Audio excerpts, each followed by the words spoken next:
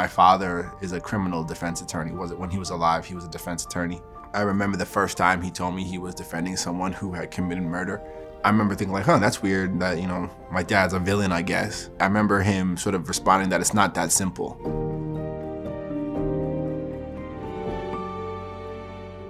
Hi, I'm Nana Kwame Adjei-Brenyah, and I'm the author of Chain Gang All-Stars. So Chain Gang All-Stars is about an imagined future in which convicted wards of state can opt out of a sentence of at least 25 years and participate in death matches. There's a whole bunch of other sort of futuristic technology that facilitates these games. So I originally thought Chain Gang was gonna be a, a short story in my first book. I had the idea of a woman in a stadium thinking back about this really horrific path she'd had to traverse. As I tried to write that story, it just sort of slowly, but maybe pretty quickly actually, became clear that I wouldn't, I couldn't get my teeth into the subject or the idea the way I wanted to. And I think all short stories, you're kind of getting the tip of the iceberg. But in the case of Loretta Thurwar, who's this protagonist of Chain Gang All Stars, I felt like I was getting the tip of the tip of the tip, and it just wasn't enough. Speculative fiction, which is a term that I more discovered after it was assigned to me. I feel like the first time I saw it was in a review, and I was like, how dare you? And then I looked it up, I was like, oh yeah, yeah, that's kind of right, that's me. It's fiction that sort of employs uh, the idea of an imagined future.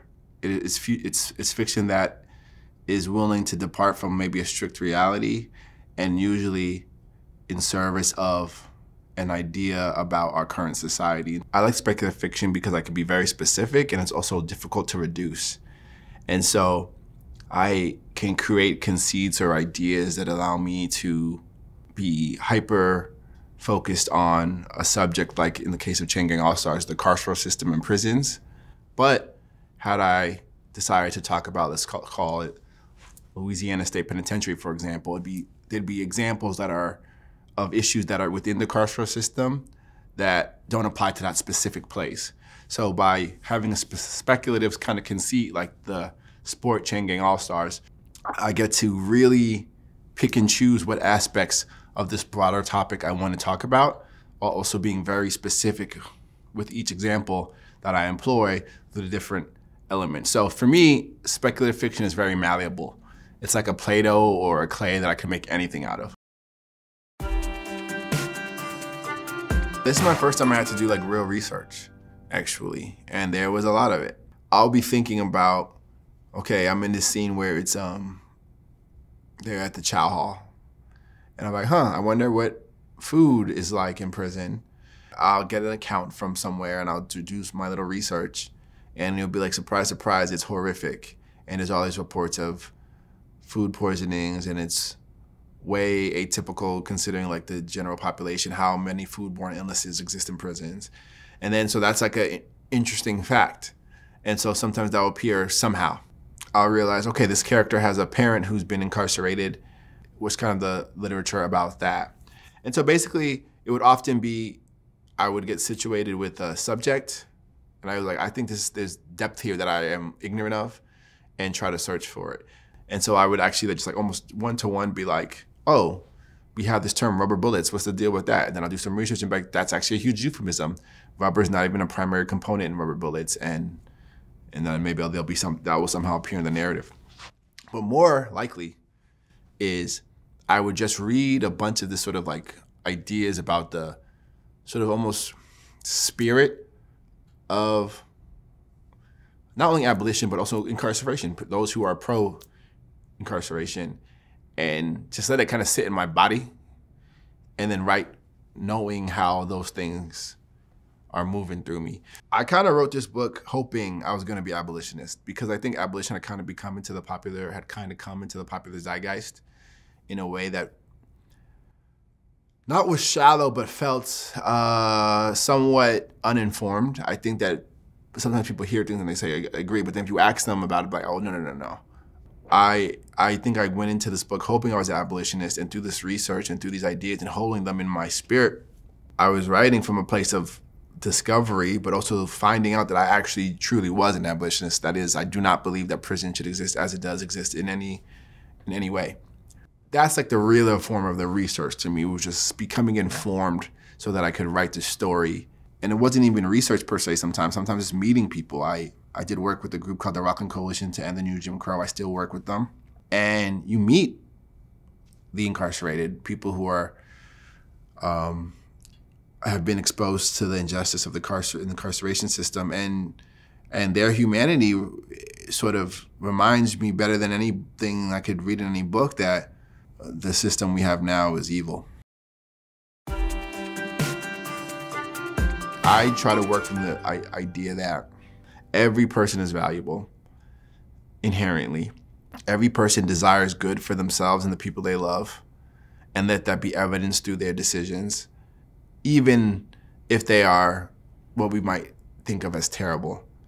And so when I do that, I also know that I have characters who are often in very difficult situations in terms of like the systems that are oppressing them. And so I try to create those like that that or protect that essential humanity that is getting a lot of pressure on it. Because that's what's happening to all of us all the time. And I think that makes people more empathetic. It's not something I naturally like really actually think about. I, I just try to make the character capable and react in ways that feel realistic to their situation. But I think they come off as empathetic sometimes because um, we get the sense that they are humans trying their best, even if they're often failing.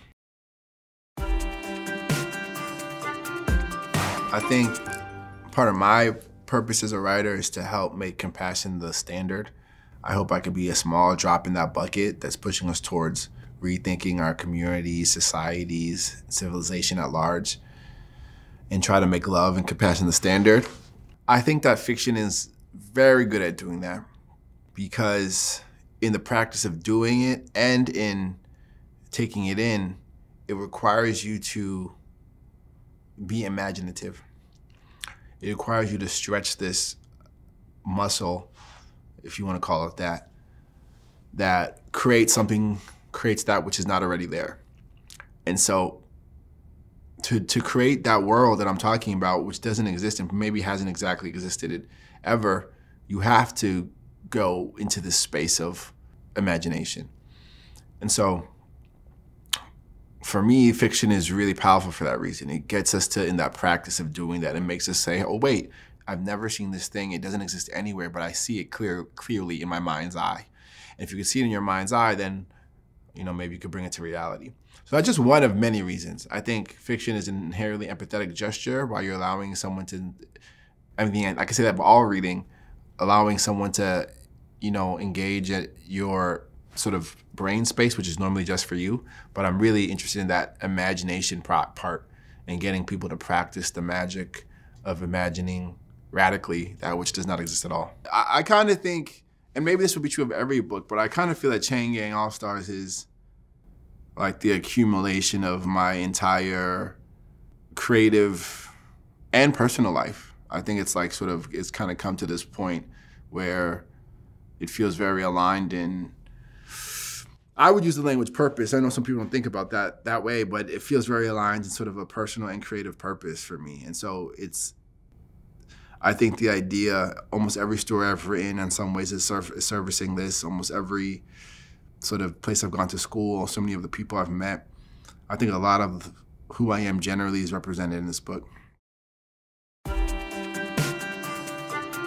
I think that hope is a discipline and a practice. I think that it'd be a very like privileged take to be like, well, I guess we lost. I don't believe in that. Also, I'm a very like stubborn, competitive person. That's just not my vibe to be like, it's over, we lost. If Angela Davis is working and still doing the stuff, then I, who am I to be like, it's hopeless? You know? People who have like had their bodies threatened, have seen people killed, they're fighting right now still. And so I can take leadership from that.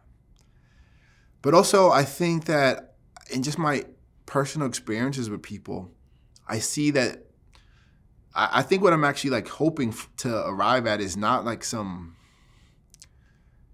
I think it's really where we are, where we want to be, like naturally. But we have all these systems that we've that we've put in place that make it difficult, and so it, it it's not that unnatural. Abolition isn't just about removing things; it's actually about adding institutions. It's about adding, you know, compassion. So we know that most quote unquote crime is the product of poverty. How can we interrogate that with the full heart of our resources? Um, we know that so many people that are incarcerated suffer from mental health issues. How can we be compassionate about that in our communities and our institutions? Um, we know about the lack of access to education or proper education. How can we be compassionate about adding that? How can we end food insecurity? How can we end housing insecurity? Those things. Adding those things is really what abolition is more about than removing prisons. And those things benefit all of us. I think compassion is our actual real starting place. But we we're made to feel as though we're competing for resources or spaces to live, or or that because of race or gender or this or that, like we're in this like competition for with each other.